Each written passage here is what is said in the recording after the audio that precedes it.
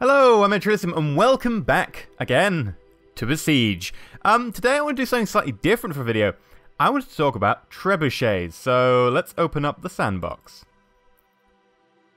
So, I've seen a few videos and stuff and people talking about building trebuchets so far, but no one who's been talking about building a trebuchet has actually been building a trebuchet. So, let's just open up a catapult, and let's just have a look at what a catapult is. This is a catapult. That end goes down, that end goes up, projectile goes up and goes whee. But catapults weren't really used past. Well, they were used a bit, but when when you know you could use them, you probably would be using a, a catapult. They wouldn't be used past about you know really the Roman era was really the the main era of the catapult, and even then they only really used smaller catapults when they were like, oh, it's cheaper than a ballista.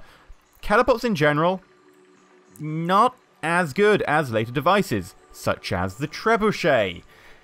Now, trebuchets are a type of catapult, and generally when I mean catapult, I mean something like a catapult that is not a trebuchet. A trebuchet is a type of catapult. A catapult is not a type of trebuchet. That's just get that. A trebuchet is a subset of catapults. So when people say, oh, this is a trebuchet, no, this is a catapult. What I want to show you is something I thought was impossible, but we actually made it last night on stream. This is mostly a trebuchet. Now, there are a couple of issues with making trebuchets in Besiege. I mean, this was built with the free build mode off, so, you know, we've got this limit on the size you can really build. And as you can see, that we're kind of taking up most of the room in there. Ideally, you want the arm to be longer. Now, the way that most catapults work, and in particular trebuchets, is you have the small arm here, which has a lot of force applied and goes down. This long arm then has the force multiplied and it goes whee, and then you project a projectile at you know high velocity because of the difference in you know the arms, so you get more momentum.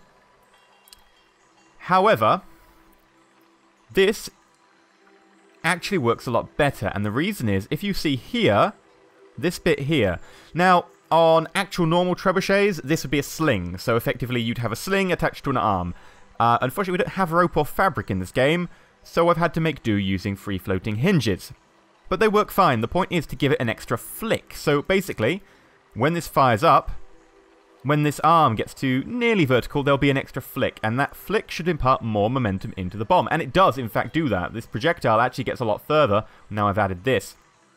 Now, normally for trebuchet, there are basically two types of trebuchet. There are traction trebuchets, which involve people, like, pulling on this end, uh, and it coming down. And then there are counterweight trebuchets, which are the common type, and they dominated even into the era of gunpowder to a certain extent. Um, trebuchets were so good that they basically become the thing you would use to attack, you know, a, a defended city, something with a wall, any sort of siege weapon. The trebuchet was your man.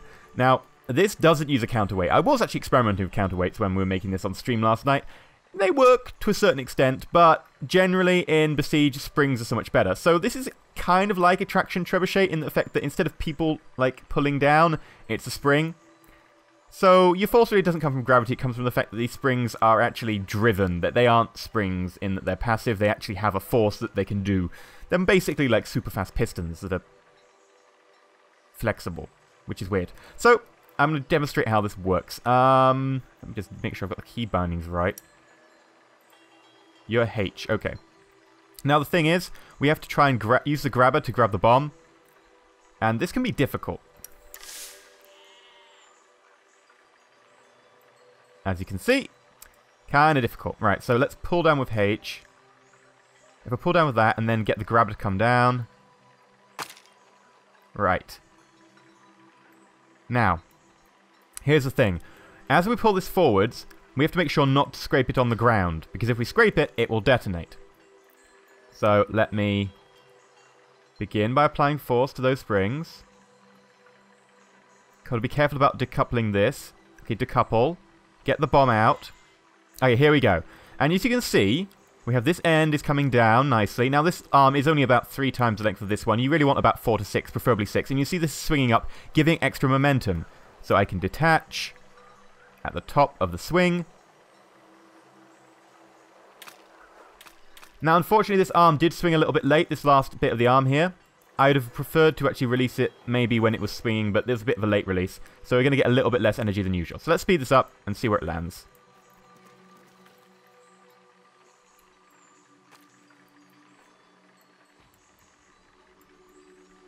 That's pretty good. That's what, like three times the distance to the windmill? Maybe towards four? And... I was about to say, no, we're still intact. We're not, actually. We are, we are technically intact. But the grabber has grabbed our own... No? No, no, we're intact. We could, in effect, we could reload and fire again. Oh, no, the grabber has actually broken. Yeah, we did break. Okay. But this is a lot more chance of reloadability than, say, the ballista. The ballista that I fired repeatedly breaks every time you fire it.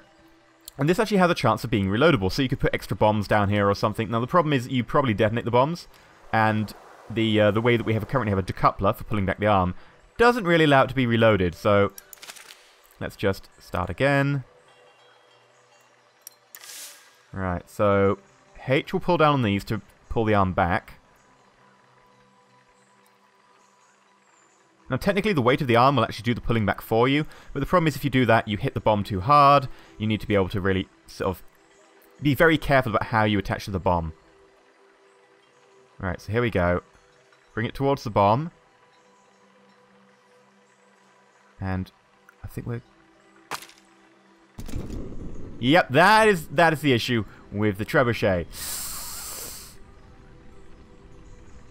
Yeah, let's try that again. Okay. Uh, wait, let's just wait for the explosion to go. Bye-bye, explosion. Right. No, don't tell me about the wooden block. Thank you. Start releasing. Go, go, go, go. Pull. Pull. Um, um, um, um, um. Yes, yes. That little flick. Okay. Bit early on the release, bit early on the release.